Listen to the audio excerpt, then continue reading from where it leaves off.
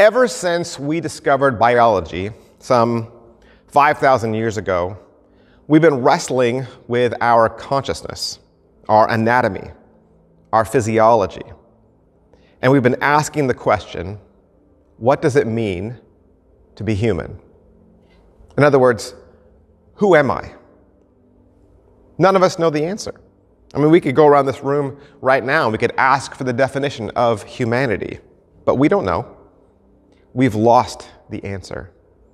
And yet, the advertisers, the self help bloggers, the drug industry, they are all trying to tell you who you are. They're all trying to tell you what to love and what to like and what to appreciate and what to be grateful for. Now, the Reformation said, I think, therefore I am. But today, we have thinking computers and we have thinking cell phones. Are they human? We would also argue that people in a coma don't think. So are they not human? Or an unborn child doesn't think. And then we strip their humanity away. We no longer say it's a baby, it's a human. We just say it's a lump of cells, it's chemistry. So, what does it mean to be human? We've lost that meaning, haven't we? In 2021, we live in a globalized society. And for as much as we gain with every new passing invention, we become more and more woke. And at the same time, we lose the answer more and more to what it means to be human. Because we've lost the authority. We've lost the place where we find answers about our identity where do we go to for answers? Like we looked at the past two weeks, it used to be the Bible, sola scriptura. Scripture alone was our authority. And now, now it's whoever has the most money or the most power. Nope, not anymore. Now the authority is with whoever has the most information. And who has the most information? The internet. Hey, where'd you learn that? Oh, I read it on the internet. What the printing press did for the world, the internet has done even more. And it's done it faster. The Reformation said Scripture was the authority. But tell me something. Where is the authority today? Here's a real question someone asked out on the internet. I found this uh, this week. The question says Are humans just a bag of chemicals? And are all our thoughts, emotions, and actions just a bunch of chemical reactions? Here's the answer. If we are just a bunch of chemical reactions, then nothing we say, do, believe, or think, or anything but a bunch of chemical reactions. It also means that we shouldn't expect our thoughts, beliefs, or sensory perceptions to correlate with reality. We only see what those chemical reactions make us see, hear, smell, feel, and think. We're not just robots, but stupid robots. At least with real robots, there's an intelligent designer doing the programming. If we're just biochemical reactions, then we are programmed by unintelligent atoms and subatomic particles. Atoms and subatomic particles don't think or feel, they just exist and react. Tell me something. Why was this the answer? Because, like the writer says, without an intelligent designer, we are all just stupid robots. And you could say, I'm not a stupid robot. Sure, you are. Because the drug industry has shown that we can even be programmed, can't we? Sure, if you feel one way, all you got to do is take a pill and you'll feel a different way. How can you argue that you're not just a sack of chemical reactions? If I can drop a pill or give you a shot and change you. What does it mean to be human? Big Pharma says you're a big pile of chemical reactions, and they alone hold the answers to your health. TV and media says you're a consumer. They don't see you as a human either, just a dollar sign. The government only cares about you when it's election time. You're not human. You're just a voter that puts them in power your job, your career, that used to be a place where you found some self worth. But today, you're an employee number. You're replaceable. You're expendable. Phrenologists claim that they can tell what type of person you are, or you will be, by checking out the bumps on your skull. Graphologists claim they can read your character through your handwriting. Physiognomists claim that they can read your character by the shape of your nose, the set of your jaw, the texture of your skin. What does it mean to be human? What's the truth? That's what we're looking at this winter at Walden Church. We don't care what the world says. What does God say? His truth is the only truth I care about, the God's honest truth. 1 John 3 says, See what kind of love the Father has given to us, that we should be called children of God. And so we are. The reason why the world does not know us is that it did not know Him. Beloved, we are God's children now, and what we will be has not yet appeared. But we know that when He appears, we shall be like Him, because we shall see Him as He is, and everyone who thus hopes in Him purifies himself as He is pure. Everyone who makes a practice of sinning also practices lawlessness. Sin is lawlessness. You know that he appeared in order to take away sins, and in him there is no sin. No one who abides in him keeps on sinning. No one who keeps on sinning has either seen him or known him. Little children, let no one deceive you. Whoever practices righteousness is righteous as he is righteous. See, the Bible says, I know who you are. Who are you? You are a child of God. You are children of God. You are dearly loved by your Heavenly Father. C.S. Lewis, he put it this way Remember that the dullest and most uninteresting person you talk to may one day be a creature which, if you saw it now, you would strongly be tempted to worship, or else a horror and a corruption such as you now meet, if at all, only in a nightmare all day long, we are in some degree helping each other to one or other of these destinations. It is in the light of these overwhelming possibilities, it is with awe and the circumspection proper to them, that we should conduct all our dealings with one another, all friendships, all loves, all play, all politics. There are no ordinary people. You have never talked to a mere mortal. You know what the world says? Enjoy life, right? Do whatever you want, do what feels good. Why? Because you only live once, nobody lives forever. Guess what? That's a lie. That's a lie. And it's one of the lies of this age. My friend, you are no mere mortal. You are a child of God. And because of that, it doesn't really matter what people see when they look at you, because our Heavenly Father only sees His child. The world may not recognize it, they might not even appreciate it. But that is what you are if you have trusted Jesus as your Lord and Savior. And listen, if you want to overcome the darkness that looms over you, if you want to change, if you want to rid yourself of the shackles that hold you back, then you need to embrace your godly heritage as a child of God. First John says God is your father.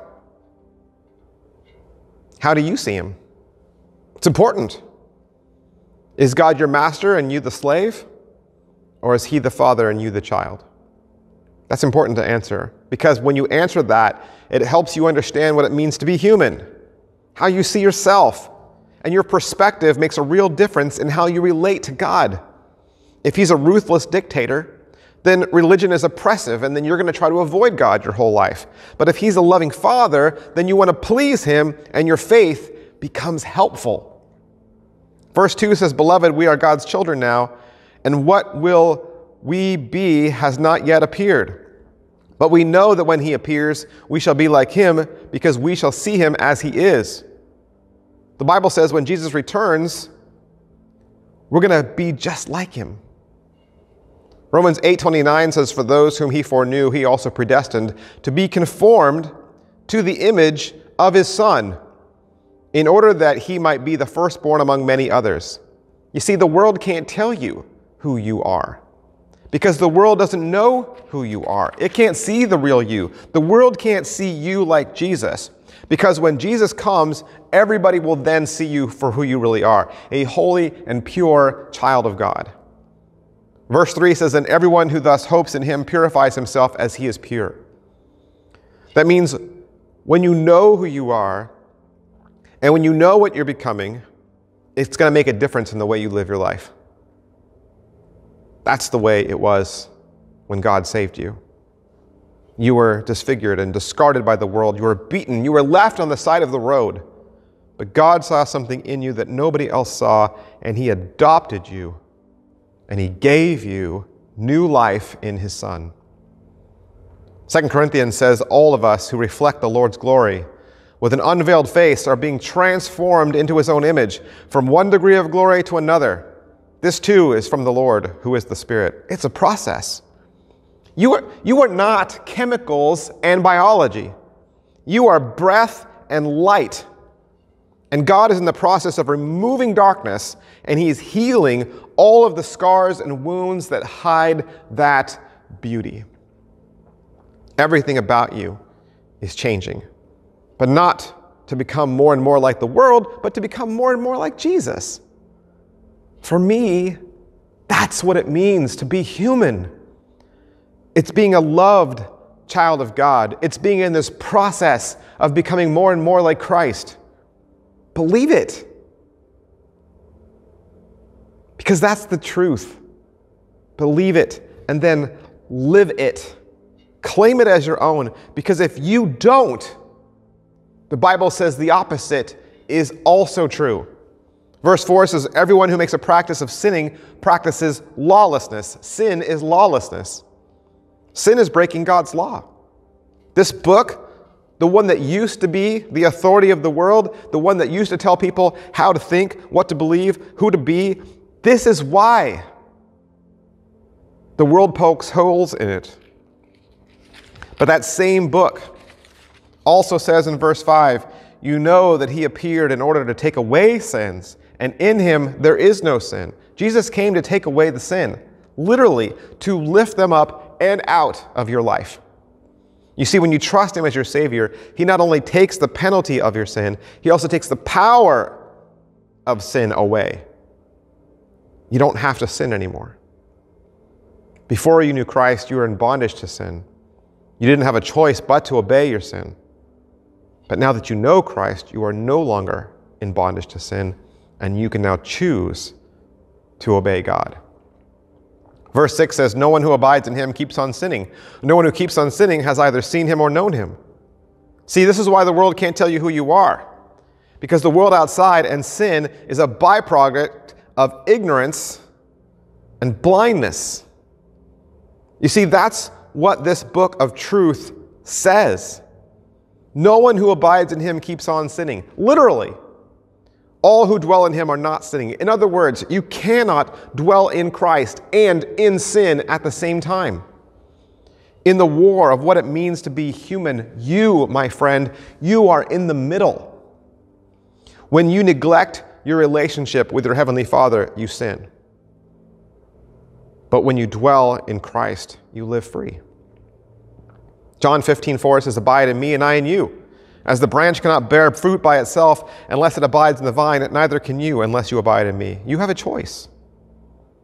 You have a choice. You can dwell in sin or you can dwell in Christ. What will you choose? Whom is your authority? Who decides your identity? Please choose Jesus. You see, abiding in Christ is not something you do, it's a place to be. It's being in Christ. A child of God dwells in Christ. It's living your life with the conscious awareness of His presence. And when you do that, you can live free of sin. So if you want to overcome the sin that's in your life, choose to dwell in Christ and then embrace your identity as a child of God.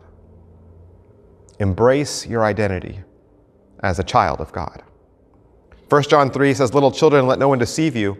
Whoever practices righteousness is righteous as he is righteous. Who are you? Who are you? You are righteous. You are a member of the family, your real family, God's family. God is your father. Your adoption defines who you are, not your circumstances, not your DNA. You are a loved child of God, and you are in the process of becoming more and more like Christ. Please believe it and live it. and then live your life so thankful for it. First Thessalonians says, Give thanks in all circumstances, for this is the will of God in Christ Jesus for you. Psalm 107 says, Oh, give thanks to the Lord, for he is good, for his steadfast love endures forever. Ephesians 5 says, Giving thanks always and for everything to God the Father in the name of our Lord Jesus Christ. We hear it all the time. The importance of being thankful, gratitude. And this is probably a good time right now to roll your eyes and, and say, Look at that. Pastor David is trying to, trying to work Thanksgiving into the message at the last minute. Trust me, this fits. Because in many ways, as a society, we have lost touch with the true meaning of gratitude. And that's understandable. Because gratitude requires reflection and stillness. Two things that can be hard to find in a busy and overstimulated world. As a result, you're also missing out on all the benefits of gratitude, which may be greater than many people realize. As it turns out, the effects of gratitude can be more helpful to our physiology and our health over any chemical or substance or drug. Are you hearing me? Gratitude is a natural, biblical, truthful remedy. What can gratitude help me with? How about improved mental health? If you're struggling with anxiety or depression, gratitude might be the last thing on your mind. But as it turns out, gratitude could be a key component in helping you with your mental health. One study showed that participants who wrote gratitude letters regularly displayed significantly better mental health than those who didn't. In fact, brain scans suggest that gratitude might even have the power to rewire brains permanently. How about improved physical health? Sure, we'd all like that. How about better sleep? How about immunity? Yes, please. And gratitude doesn't require a prescription or a visit to the doctor's office. Tonight, you're going to see 10 commercials for drugs before you fall asleep. Or you're going to see a commercial for that car that you need. But there's no commercial that's going to say, be thankful for what you already have. And as you go to sleep, you're going to go to sleep anxious and worried. And you're going to pop a pill to make you fall asleep. But gratitude has been shown to help with both good sleep and a strong immune system. And it's even linked to reduced pain and improved cardiovascular health as well. Number four, gratitude can even help create stronger social bonds between people, stronger friendships. As we're all coming out of our COVID hidey holes and relearning how to be around people again, let's all remember that people like to be appreciated. So expressing your gratitude makes it real to you and, the, and it benefits the other person. It is also tied to your physical and mental well being. And most importantly, expressing your gratitude often builds connections and improves your relationships. Five, how about resilience? Gratitude has the effect of helping us to refocus all of our positive emotions. We become more optimistic, more solution orientated. How does resilience help? Well, resilience improves our overall quality of life by enabling us to bounce back when we face a hardship. So, what is it? What is gratitude? I mean, isn't it just being thankful?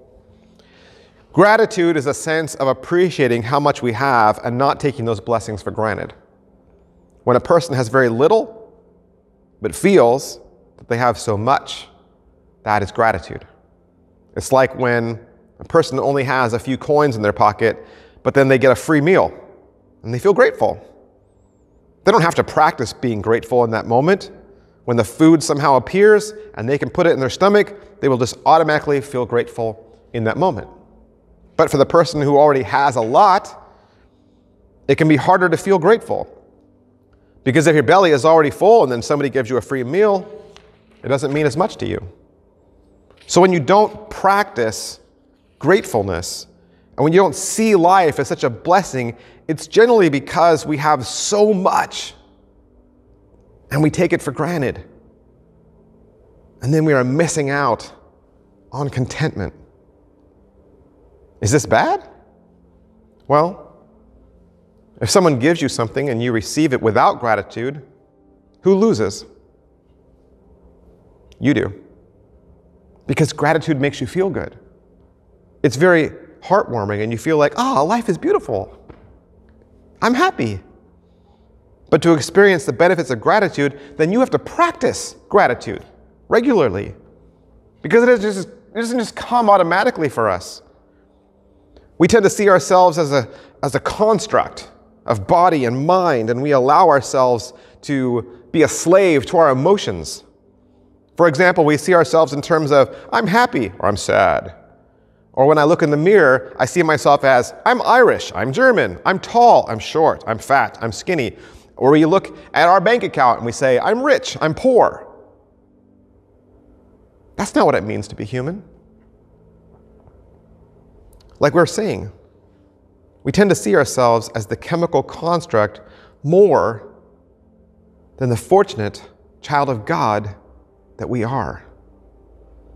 So you have to remind yourself every day I am so lucky. I am so lucky to be alive. I am lucky to have this life. I am lucky to have this home, lucky to have this car. How lucky am I to have these kids? How lucky am I to have this pet? How lucky am I to have my health? It takes effort to recognize how lucky you are. If you're in the process of looking for ideas on how to practice gratitude, let me give you five. Five ways you can practice gr- gratitude on a daily basis. Okay, number one, set aside some time and just make a list. It doesn't have to be a real list, you can make a list in your head, right? Make a list in your head, start with the tiniest details, and then mention them in your prayers. Say them out loud, mention them in your prayers. Tell God how grateful you are for these things. Why? So that whenever you're feeling empty, whenever you're feeling lost or unsure of yourself, you can just recall this mental list and improve your mood. Author Ann Voskamp said, When I give thanks for the seemingly microscopic, I make a place for God to grow within me. Two, please remember to say thank you. Say thank you. Tell other people thank you when they do something nice for you, no matter how small. You know, we used to have more polite people in the world, didn't we? The world used to be more polite. We need to say thank you more. And we need to learn just to let the little things go. Number three, you do you. Now, what I mean by that is don't allow other people's bitterness or their negativity or any other outward circumstance to influence your inner peace. Look for the best in everyone and then just believe the best about them. We can't be responsible for how the world acts or feels, but you don't have to pick up those signs of negativity and march along with everybody else. It's possible to be grateful, even when you're surrounded by negativity and self centeredness. Number four, anger, disappointment, failure, frustration, those things will always be a part of life but don't let them become your default emotion. Don't be complacent and resign yourself to being a victim. I'm so sick of the whining and complaining and the oh woe is me attitude lately. Everyone's a victim. Everyone's hurt and wounded and insulted and appalled. That is not a healthy way to live. Don't be that person. Choose to live from a place of gratitude, and you'll have more peace. You know why we all love Thanksgiving and Christmas? And yes, even the 4th of July. Because those holidays remind us all that living with gratitude is better than the alternative. On a birthday, we say, We are all blessed to have you. The 4th of July says we are all blessed to live in America. Thanksgiving says we're all blessed to have food and family. Christmas says we're all blessed to have a Savior who loves us and rescues us. And then we say, I wish I could live this way all year through. Guess what? You can.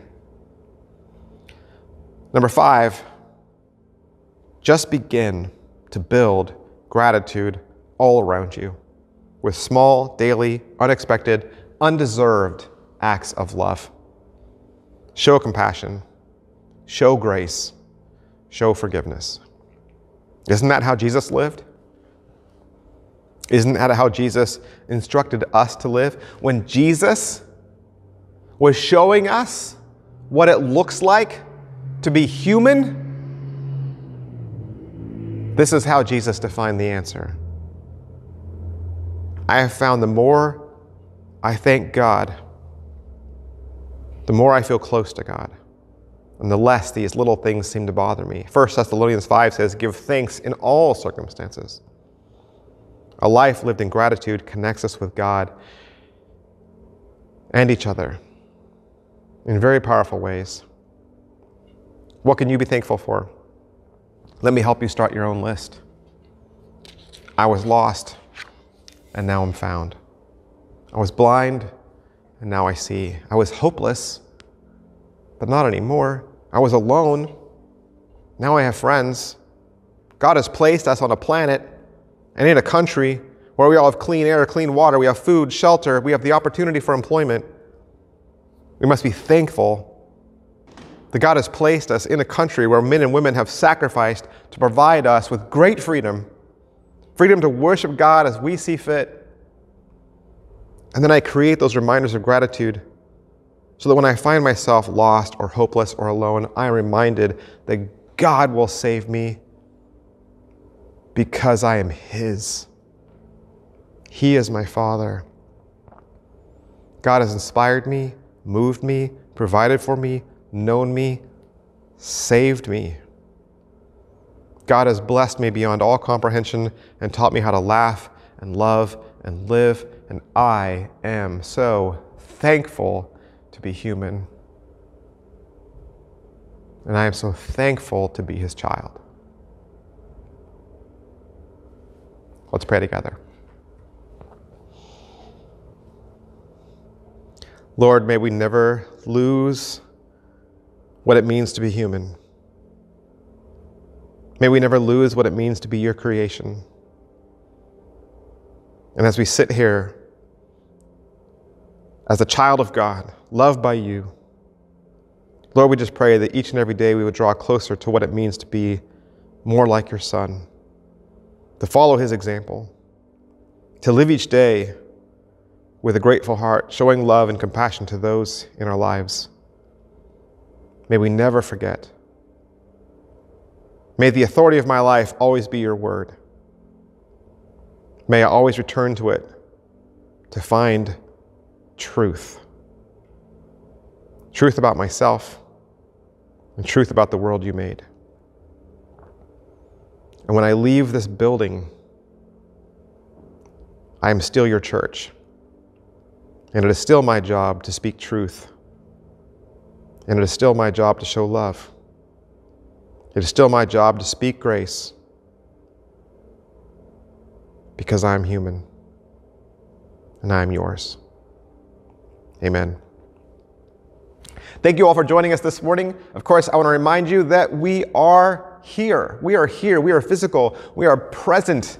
We have worship services. People come in, they sit, and they sing, and they learn, and they laugh, and they love. And we want you to be a part of it. Please return to church. Create this habit in your life once again. This is where we grow together. And when you are not here, you cannot bless us and we cannot bless you. We want to bless you. We want to be the church where you live. Every Sunday morning we have two services, one at 9:30. It's a traditional service and we have a choir and we sing hymns. We also have a service at 11 o'clock. It's more contemporary and we have a worship team.